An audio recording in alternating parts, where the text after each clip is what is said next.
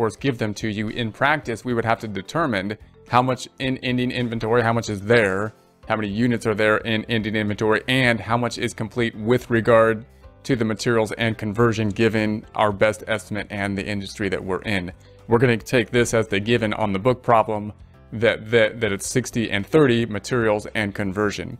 So what we're going to do is we're just going to take that 990 times 0.6.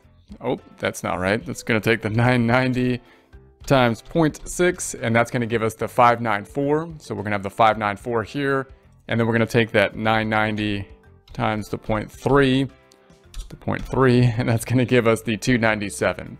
Let's do that in Excel. So we're going to say this equals the 990 times the 0.6 tab, that's the 594.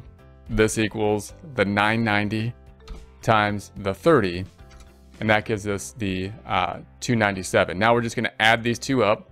That'll give us the 6534 here, and it's going to give us on this side the uh, 6237. We're going to use the sum function to do so. So I'm just going to say equals sum and sum these up. I'll do the same here, equals sum. We're just